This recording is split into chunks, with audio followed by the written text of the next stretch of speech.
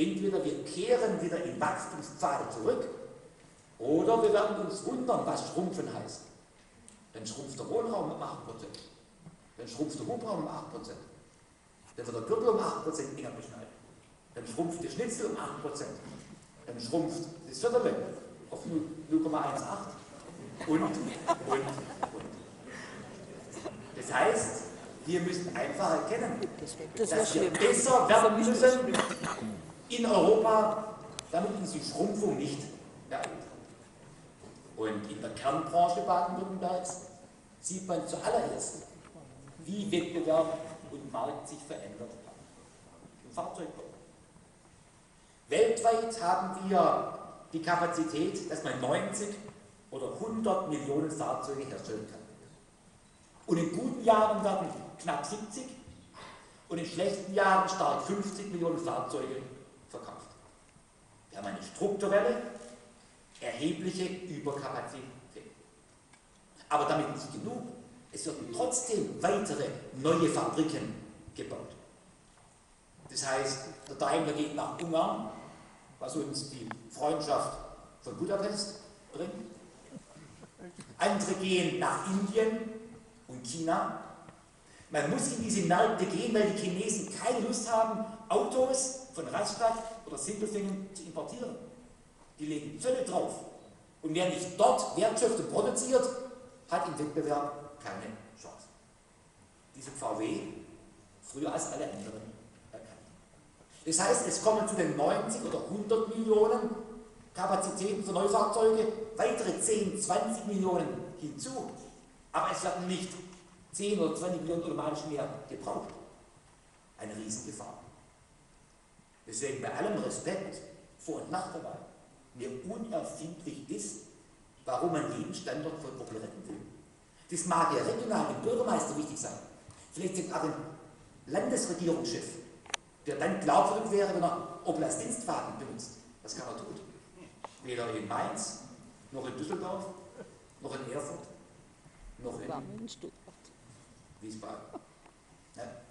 Die haben in Baden-Württemberg kein Opel hergestellt, sondern wir haben andere Produkte und auch dort haben wir Ressourcen. Weil eine Thema C-Klasse sich jetzt zeigt, dass Fahrzeuge wie C-Klasse geringe Margen haben und dann der Dollarkurs jeden Profit in Amerika wegnimmt.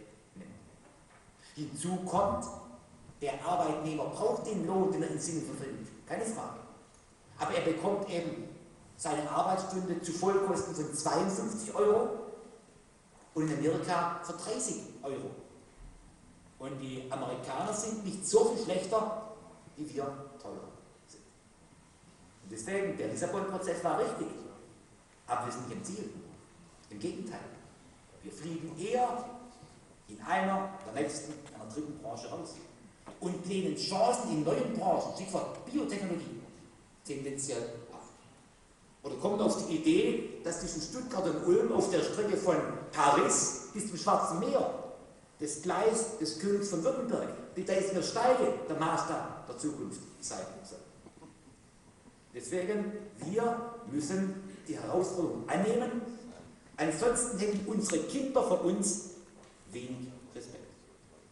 Das Thema europäische Staatsverschuldung kommt hinzu. Also das sind manche ganz schön ungehemmt. Zuallererst in Paris.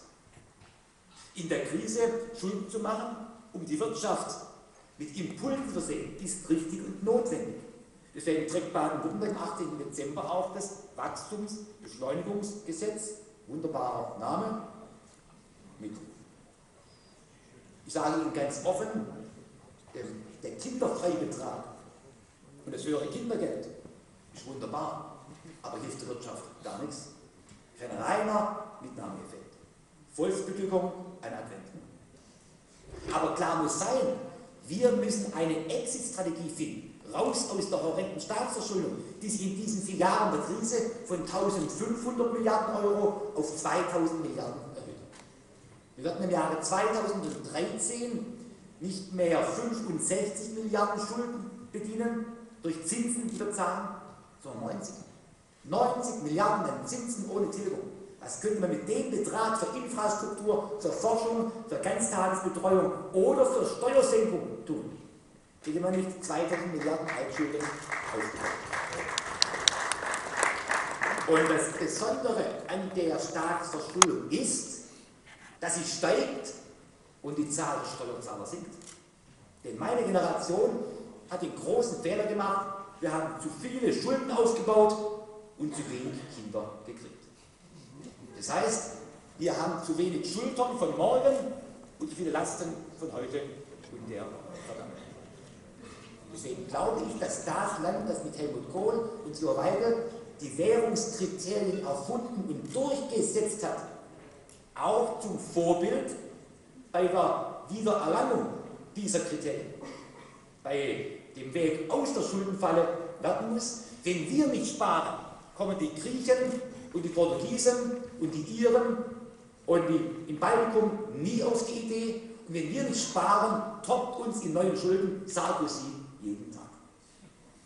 Das heißt, ich glaube, die Agenda Europas ist klar.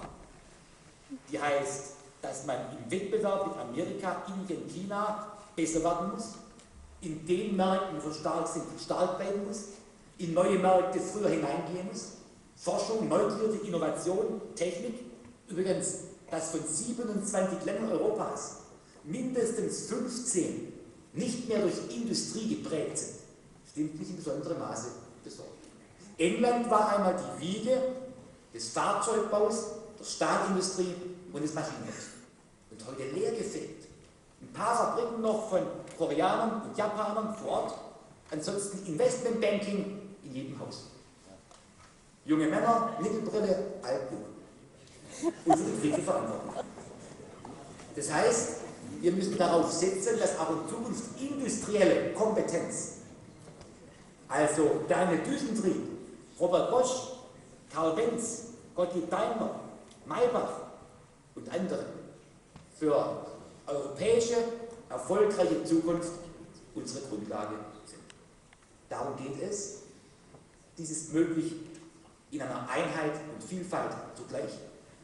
Und deswegen die Idee Europas war richtig, als Konsequenz aus zwei verschiedenen Weltkriegen, von uns verschuldet, bleibt richtig, weil der innere und äußere Friede darauf ruht, aber auch unsere soziale Zukunft im Wettbewerb mit anderen Kulturen und Kontinenten nur europäisch begangen und bestanden werden kann.